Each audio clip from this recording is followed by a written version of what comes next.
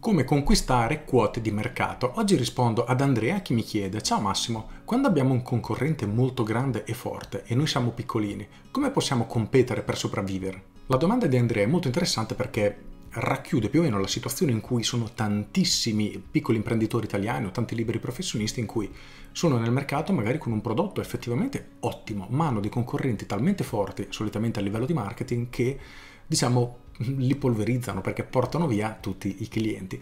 Allora, questa è una tematica assolutamente importante e interessante. Innanzitutto dobbiamo stabilire, diciamo, come sono le situazioni, nel senso che se noi siamo piccolini e abbiamo davvero un competitor che è enorme, diciamo un leader del mercato, la nostra strategia sarà di un tipo. Se non esiste un leader di mercato ma combattiamo con altre piccole attività, la strategia sarà diversa, ma oggi rispondo solamente a come muoverci quando dobbiamo competere con un grandissimo leader. Innanzitutto dobbiamo fare una precisazione.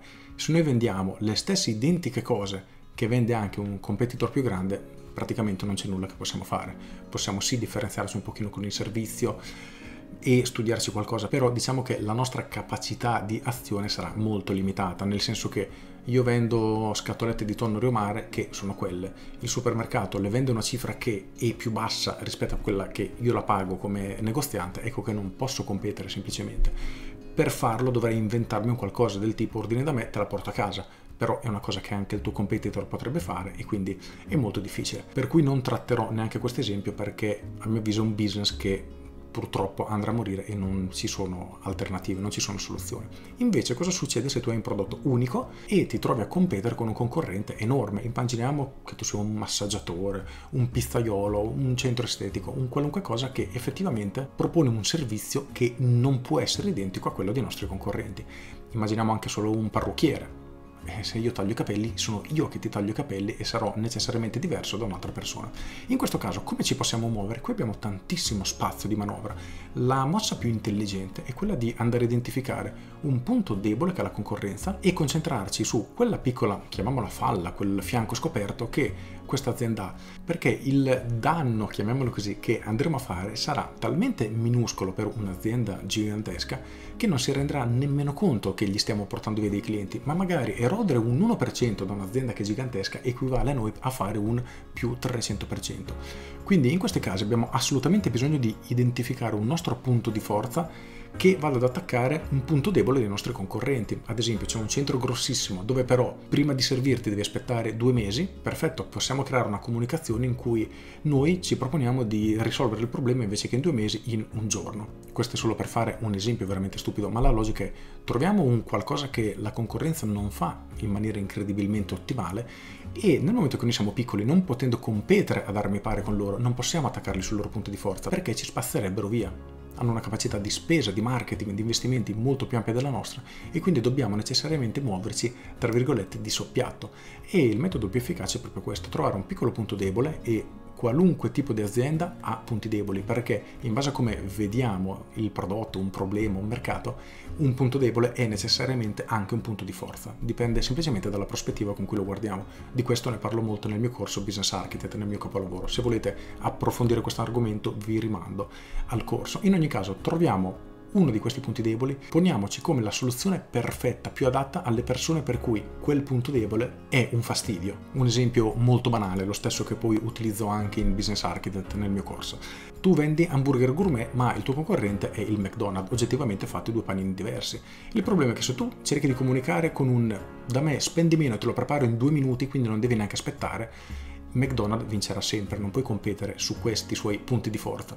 Allo stesso tempo questi punti di forza sono anche punti deboli, perché noi potremmo dire non vuoi mangiare un panino che era già stato preparato da mezz'ora con ingredienti preconfezionati, che oggettivamente sono ingredienti di bassa qualità perché il prezzo lo giustifica, eccetera.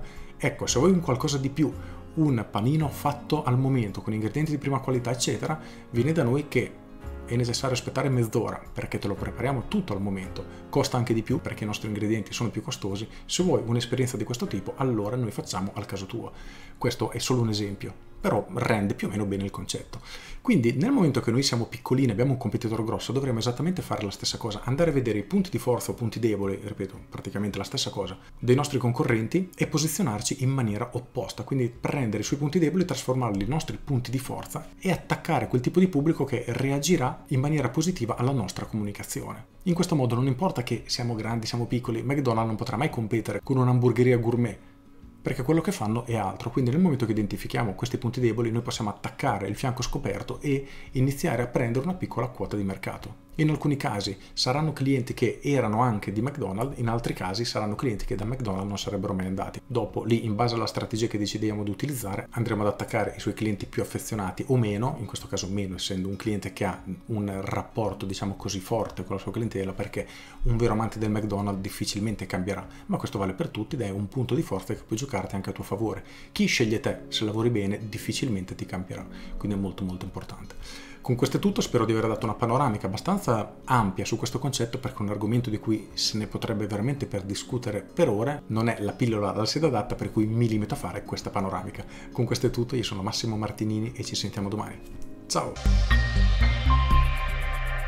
Aggiungo, nella maggior parte dei casi, in Italia perlomeno nelle PMI, la verità è che non esiste un competitor così grande. Avendo quasi tutti piccole attività geolocalizzate, immaginiamo un ristorante, la pizzeria che lavora di più, che è un pochino più di moda, più rinomata, eccetera, oppure un centro estetico più grosso. Però non abbiamo molti colossi con cui competere. Quindi fare marketing per prendere una parte di questi clienti in realtà in Italia è molto facile, basta utilizzare le giuste strategie e le giuste tattiche. Fatto questo, trovare clienti non è assolutamente un problema. Con questo è tutto davvero e ti saluto. Ciao!